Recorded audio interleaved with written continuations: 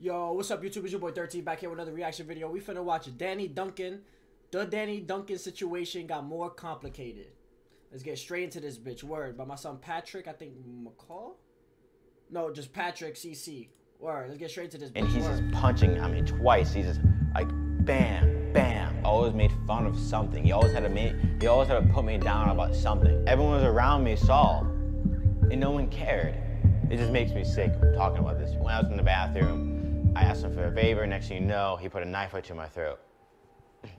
Danny Duncan's ex employee just tried to cancel him, but then Danny hit us with the Uno reverse card. Things are getting interesting now. I was never putting him down. I was literally just trying to help him. I didn't take his money. I told him to take the 20% and invest in the stocks. I've never violently hit Aaron in a mean way where I'm trying to like knock him out or something. I, th- I think I'm good at like starting drama.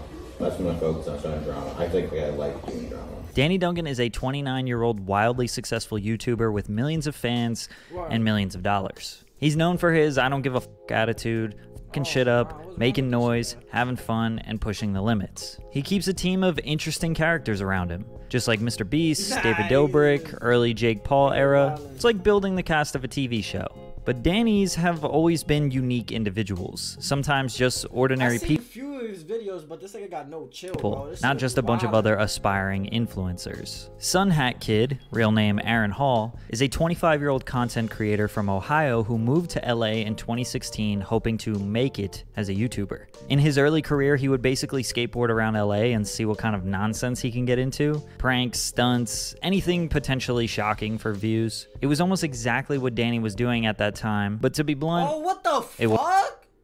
for views. It was almost exactly what Danny was doing at that time, naked, but to be blunt, it wasn't as good. By a stroke of luck, Aaron just kind of bumped into Danny in LA, and I guess they hit it off.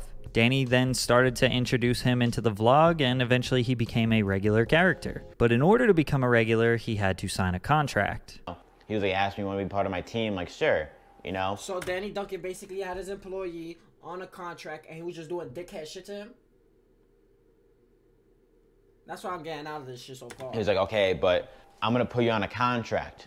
I'm like, okay, sure. What's the contract gonna say? How long? He says, 10 years. Now, I'm not surprised that Danny makes the cast of his vlog sign contracts. After all, he has a lot to offer, and they can make a career out of that. But 10 years is a long ass contract. I don't think that Sun Hat Kid is lying about it either, since Danny made a response video and never addressed that directly. Aaron said the other stipulations of the contract was that Danny would take 20% of Aaron's money, Wait, and on, hold on, he's that not surprised that Danny makes the cast. Contract gonna say, how long? He says, 10 years. 10 Now, I'm not years? surprised that Danny makes the years. cast of his vlog sign contracts. After all, he has a lot to offer, and they can make a career out of that. But 10 years is a long ass contract. I don't think that Sun Hat Kid Nah, is lying about is it either, since ain't gonna lie, Danny like made a response video and never Like, addressed some, that directly. Some NBA players don't even have 10 year contracts. Nigga, they be having one, two here, three there, five per, maybe. Like, 10 is crazy. I ain't gonna lie. Aaron said the other stipulations of the contract was that Danny would take 20% of Aaron's money, and he could not collaborate with other content creators. I'm giving him 20% of my earnings. I didn't take his money. I told him to take the 20% and invest in the stocks. I had him download like a, a Robinhood or an app like that. I told him to buy Apple stocks. I told him, I even told him if he lost any money in Apple that I would give him the money back. But If you I, lose any money on Apple, I'll give it back to you. No, it's not. I mean, You won't lose money. hopefully not. I'm gonna lose money. You will not lose money. So instead of taking Aaron's 20%, he just told him to invest in and told him what to invest in, which is something very few employers will do. In That's my facts. opinion, that That's a exemplifies a great leader and a great boss. And next thing you know, he starts just punching at me out of nowhere. Hold on, hold on, hold on. Is that, that, is that, that's not making sense now. Is it like a different clip or is it like is this like all together? Because now you was just saying about the money shit that you just say he started punching on you punching on you out of nowhere. Because he told you to invest in some Apple stocks.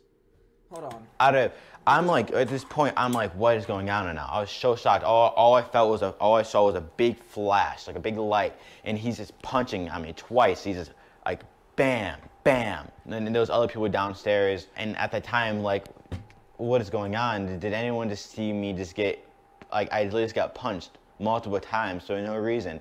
No one said anything. Now, on numerous occasions, borderline every Danny Duncan Oh, vlog, you will nah. get some sort of physical altercation. Borderline every Danny Duncan vlog. No one said anything. Who is Now, that on the numerous hat? occasions, bor- Oh, is that that nigga in the hat? Or I think that's the borderline every Danny Duncan vlog, you will get peace. some sort of physical altercation. A lot of the time, it's between Danny and his friends. It's kind of just like roughhousing, what friends do. They all f around and beat each other up. And you could tell that it's all play. But I wouldn't be surprised if every now and again it went too far. We've all had that moment where you and your friends are slapping each other around and one it ran to person actually fight. gets hurt and wants to fight for real. Like we tease with each other, we have fun, and and that's fine with me. I don't care about teasing. I don't care about that stuff. You know, it's all just fun and games, and we wrestle sometimes, and you know, maybe sometimes it gets a little annoying. It, it's like like ah, come on, man, I don't want to be a teaser now.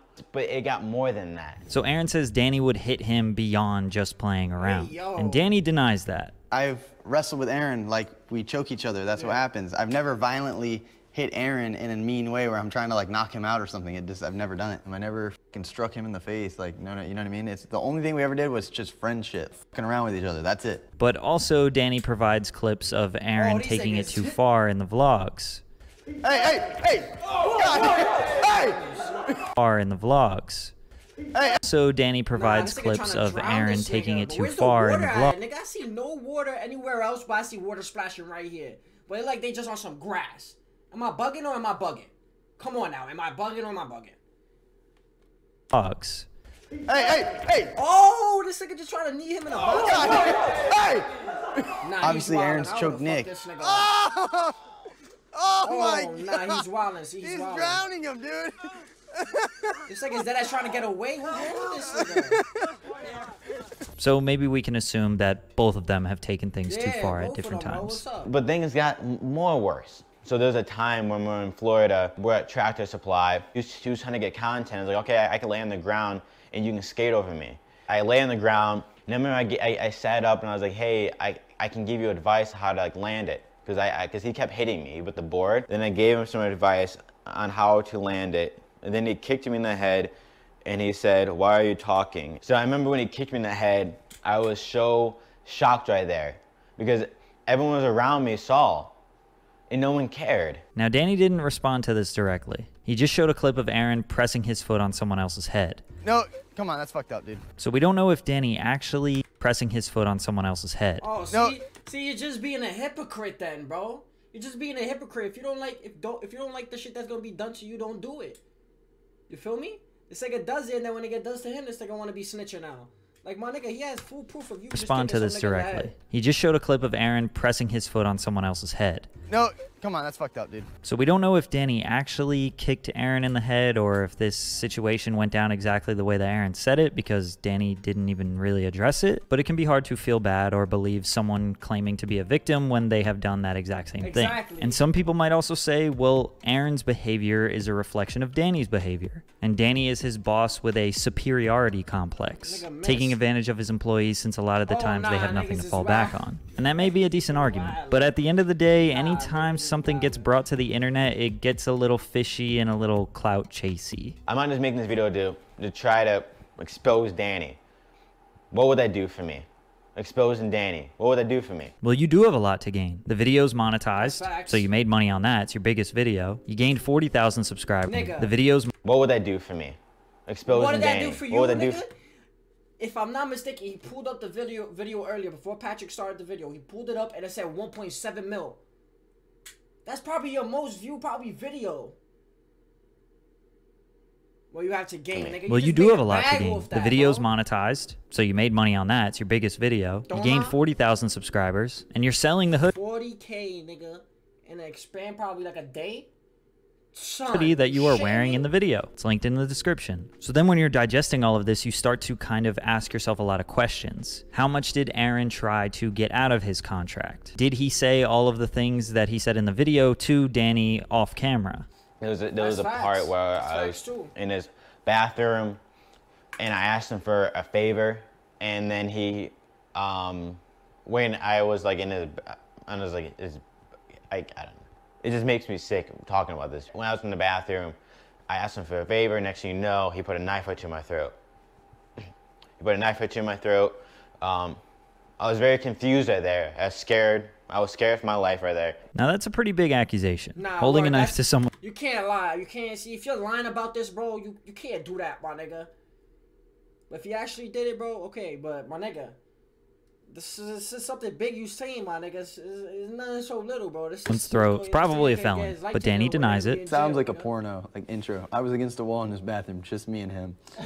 but yeah, I never pulled a knife on him. And some people think it's a pretty fishy story because why would you ask someone for a favor in the bathroom? He also didn't give any context of the story or See, why it probably even led to Danny bro. holding a knife to his throat. And then he made sure to put that it was just them two alone in the bathroom as a subtitle. So it's really just one person's word against another at that point. Imagine you keep punching a dog in the face.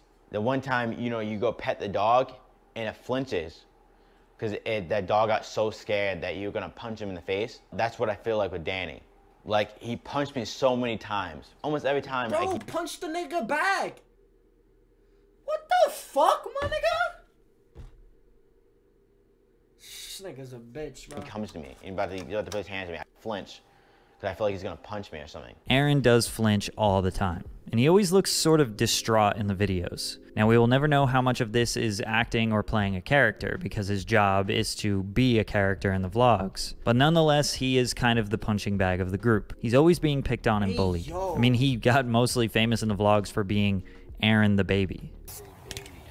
I'm not a baby, dude, at all. Yeah, you definitely are, dude. If he does it, I'll give him $5,000. And if he doesn't, he has to walk around with us all day, just like the baby he is, dressed in a diaper, a binky, and in the car, he has to sit in a car seat. All the comments on his videos were something about him being a baby, and it became this really big joke on the internet and in the videos. I know I would definitely be really annoyed at that and would probably stop that as soon as I could. But then again, he made merch out of it and was selling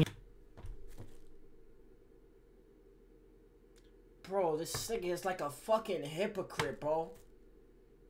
I'm tired of It's so- bro. How much did it really bother him? But the more I look at this situation, the more it seems like the line between joking around his friends and getting content for a vlog is a little bit blurred. David Dobrik had a similar problem, but in a much worse situation. It seems like Danny and his team don't have a line between what's just a joke and where it goes too far. Because what Aaron is saying is abusive and manipulative, Nah, Danny is saying it's just harmless messing around, physically and verbally. It wasn't just the hitting that he did, but it was also the, the, the verbal abuse he did to me. Some of it was funny, some of it's like on camera even, like calls me an idiot. He's always making fun of me about, about things about myself, about how, how I am and how I, you know, about my teeth, how my teeth are messed up. He always made fun of something. He always had to make, he always had to put me down about something. Again, the line of what's a joke and what isn't doesn't really seem to be clear, which, as you can imagine, is causing a lot of problems. But the big thing that Danny put in his response video is what's making all of Aaron's arguments really weak. Hold on. Aaron requests to meet Danny unhappy with not being in his videos anymore. This is just one of three meetings that took place. I mean, I just gotta figure out how to like what what's what's next. Like what do I do? Just make your own videos. Do good shit. I gotta play smart. I gotta play the game. I gotta play the I gotta play the LA game. I guess for a little bit. I just gotta do it. What's the LA game? What, what uh, everyone else does. Dude, I, to be honest, I'm like be honest. Like, I don't know. I, th- I think I'm good at like starting drama. That's when I focus on starting drama. I think like, I like doing drama. Starting beefs. Yeah, starting with beef. I, people? I, though, I've been doing that for a long time from the beginning. I'm gonna go back to that. Just calm people out. I have no, I don't have a filter. I, I will say anything. So you Say, definitely don't want to this nigga got caught in 4,000K, nigga. 4,000K, nigga. I'm telling you, bro. This motherfucker. This motherfucker right here. Yo. no, I'm good at it though. I just one thing I'm good at. No, you're not. Yes, I am. I, I don't have a filter. I will see anything online. That's the thing. I don't care. I will talk about gay stuff. I don't. See, he don't care, bro. See, you could. This is making him. This is making him look like a dumbass. It's, ba- basically he's saying, bro, he could say anything on. Bro, this nigga is fucking lying. Bro, this right here, it say it's basically trying to say everything that this nigga Aaron is saying right now, that he was saying earlier about Danny, it's cap. But you just say you would say anything on the internet. care. I don't have a filter. Dude, it's not good. I just gotta do it. I have to. Or I'm just not gonna grow. I'm like my views are crap. Oh, oh I gotta do. I gotta make money, man. So, what? So what, what do you think I should do? Make good videos. But all I'm hearing right now is that I gotta do whatever it takes to make it. That's what I'm gonna do, I guess. Whatever it takes. Yeah, make sure you pay, pay back the the pot. What is it? Deposit on the apartment. Whatever it takes. Ah. When you say something like, Like, that, that's what I'm man, you just shoot yourself in the foot. That's you basically just said, I'm good at making shit up, and I know that I can get views from it. It's super hard to give Aaron the benefit of the doubt That's what I'm and to believe his He accusations. just got No. he just got caught in 4,000k. I'm gonna say it again, 4,000k, nigga. 4,000k, nigga. Knowing that he, you know, makes up drama. To me, I wouldn't be surprised if Danny was a bit over aggressive at times. That's the line that's between joking and serious, whether it's physically and verbally, I think needs to be more clearly established within his team. I'm sure he's crossed that line with numerous people, and most of the time when it comes to your friends or family, you can work it out. But when it comes to something that you're profiting off of and your business is sort of shaped around it, that's when things get a little bit more serious, especially when it's very successful and you're making a lot of money doing it. However, I do think Danny cares about his people. He gives them a lot. And he's done so much good for his friends, family, and community. Despite having the fuck shit up and I don't care attitude, he really does go out of his way to give his fans information about being successful, investing, and taking care of themselves. And I'm not sure how much acting and playing a character Aaron is doing. To be blunt, I always thought this kid was kind of dumb like an innocent dumb kid. But it could all be a facade that they set up to make Danny's vlogs more entertaining and interesting. I don't really know. Hmm. But with Aaron's also. comments about being able to make up drama for views, Nah, it becomes yeah. really difficult to believe That's anything. what I'm saying. Nah, anything that comes out his mouth, nobody's gonna believe, bro. You, he shitted with that clip. It's over. Like you rather just delete that 1.7 mil vil- video, my nigga. I'm telling you, bro. Like you just got, bro. Whatever you say, nobody's gonna believe. But W video, Patrick, bro. That's it for the video. Subscribe, give it a thumbs up if you enjoyed it. Like I always say, 13th way or no way. You dig? Word.